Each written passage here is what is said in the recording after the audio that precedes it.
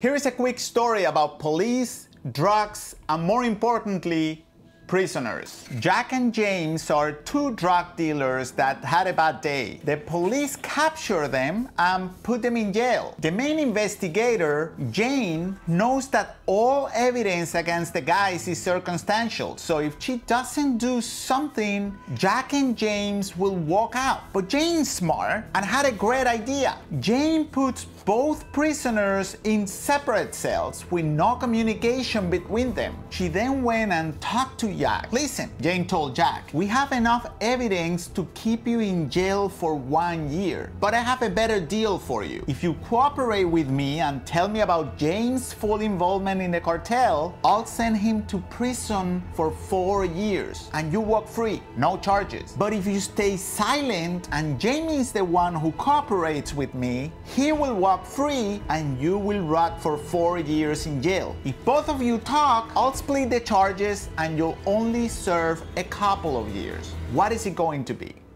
This story is called The Prisoner's Dilemma, but let me show you why this is a dilemma for Jack and James. This is called a payoff matrix, which summarizes the decisions and consequences for both prisoners. Horizontally, we have Jack and the two decisions he can make. He can stay silent or talk to the police. And we have James vertically, same thing. The first situation is where both prisoners stay silent. We know the evidence against them is weak, so if they keep their mouth shut, they can walk in a year. If Jack stays silent and James talk, Jack goes to prison for four years and James walks. The reverse happens if Jack talks and James stays silent. Finally, if both of them talk, they will each spend two years in prison four different strategies and here is what's interesting about them. This strategy is the best possible outcome for both prisoners. By looking at all the other situations, you'll think Jack and James will want to stay silent, but surprisingly, that's not what happens. Let's assume for a second that Jack decides to stay silent. He knows that doing that can get him out of jail in a year. But what happens if James, knowing that Jack will want to stay silent,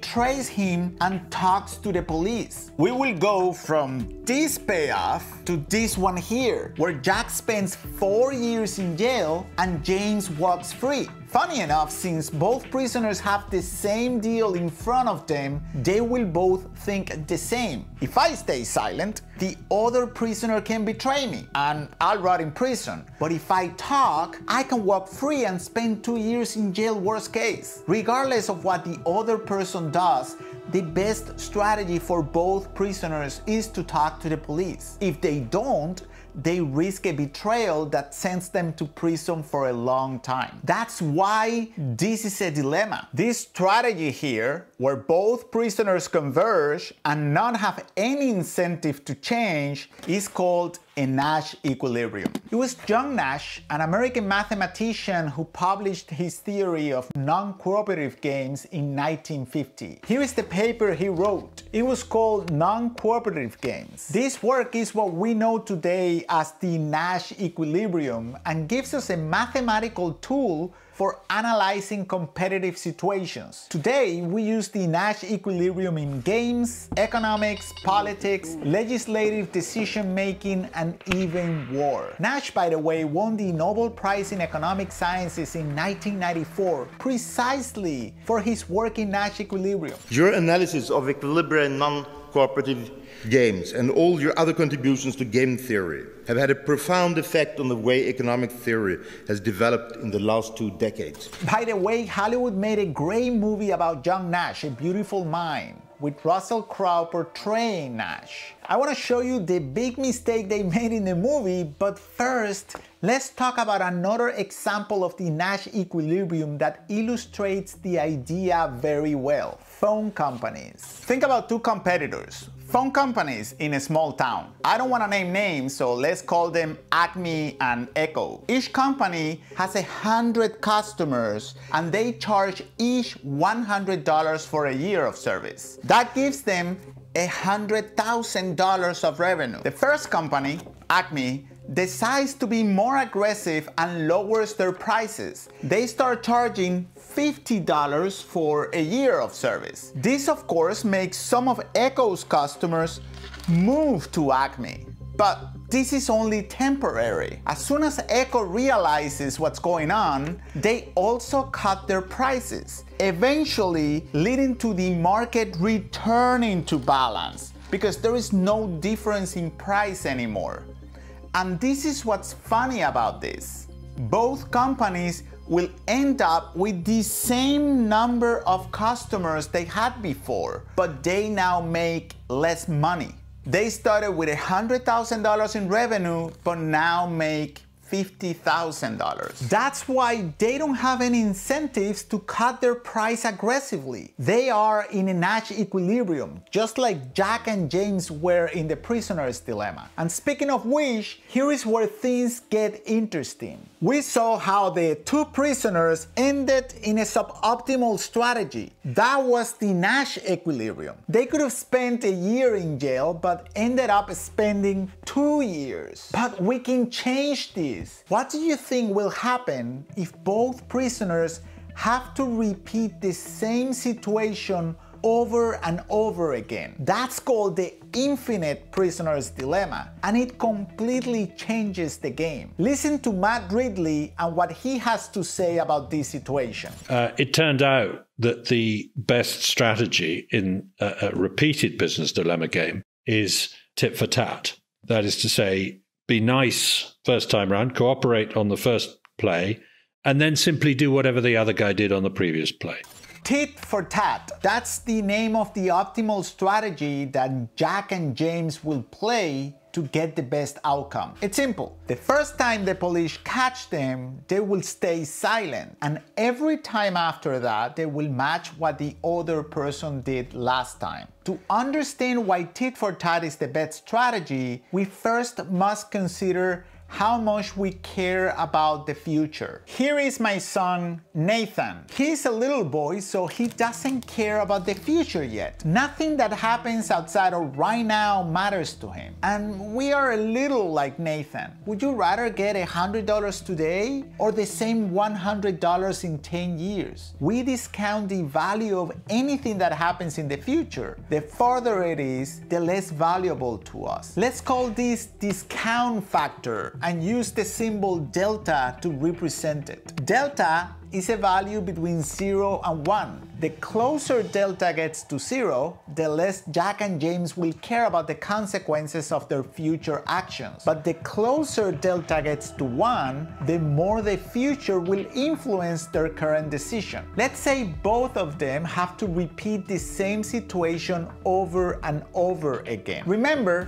the Nash equilibrium for them was to talk to the police. But what's their best strategy now? Here is a quick example. Let's say both prisoners have a conversation and decide their best strategy is to stay silent and spend one year in jail. They shake hands and go about their business until the police catch them. But then Jack decides to betray James. He talks to the police while James stays silent. Jack walks free and James gets a four year sentence. Good for Jack, right? Well, not so fast. In the short term, Jack gets no time in jail, but James will retaliate. So going forward, the best Jack can do is to keep talking and get two years every time. Let's do some quick math here. If Jack never betrays James, they will both stay silent and get one year of jail time forever. The first time, he will get one year in prison. Next time, he will get another year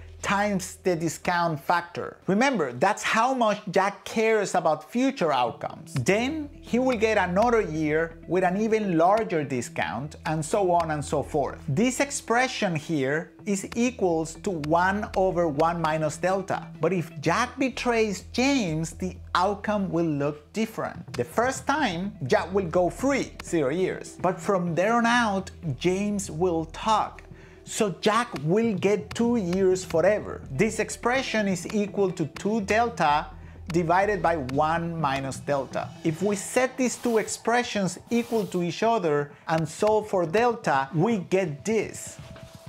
Delta is going to be a half. As long as Jack cares about the future, at least half of what he cares about the present, he will be better off cooperating with James and staying silent. And this, of course, completely changes their strategy. If my opponent is playing tit for tat, my best strategy is to play tit for tat as well. So in the infinite prisoner's dilemma problem, both prisoners will cooperate with one another. A Beautiful Mind is a movie from 2001. If you haven't, you must watch it. It's a really good movie that won the Academy Award for Best Picture. And the Oscar goes to A Beautiful Mind. There's one particular scene in the movie that never happened in real life, it's obviously fake, where Nash has a realization that apparently leads him to the Nash equilibrium. Five girls enter the bar where Nash is with some friends and they start trying to decide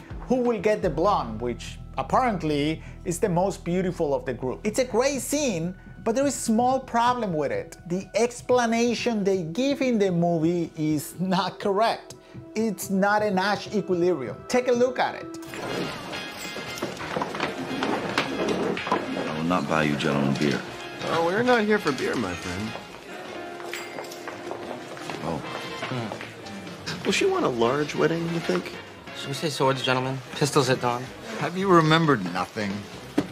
Recall the lessons of Adam Smith, the father of modern economics. In, uh, in competition, individual ambition serves the common good. Exactly. Every man for himself, gentlemen. Yeah, and those who strike out are stuck with their friends. I'm not gonna strike out. You can lead a blonde to water, but you can't make her drink. I don't think he said that. All right, nobody move. She's looking over here. Right, she's looking at Nash. Oh, God. All right, he may have the upper hand now, but wait until he opens his mouth. Remember the last time? Oh, ah, yes, that was in the history book. Adam Smith needs revision. What are you talking about? If we all go for the blonde, we block each other. Not a single one of us is going to get her. So then we go for her friends. But they will all give us the cold shoulder because nobody likes to be second choice. But what if no one goes for the blonde? We don't get in each other's way. And we don't insult the other girls. That's the only way we win. That's the only way we all get laid. Adam Smith said the best result comes from everyone in the group doing what's best for himself, right? That's what he said. That's right. Incomplete. Incomplete. Okay? Because the best result would come from everyone in the group doing what's best for himself and the group. Nash, this is some way for you to get the blonde on your own. You can go to hell. Governing dynamics, gentlemen. Governing dynamics. Adam Smith. What's wrong? If you think about what Nash said, it sort of makes sense, but that's not a Nash equilibrium. If all four friends go for a brunette, the best strategy at that point for everyone is to change and go for the blonde. A true Nash equilibrium is for them to agree that only one will go for the blonde. That'll give them the optimal strategy. So yeah, not the first time Hollywood has taken a few liberties trying to explain something, but the movie is still awesome. You should definitely watch it.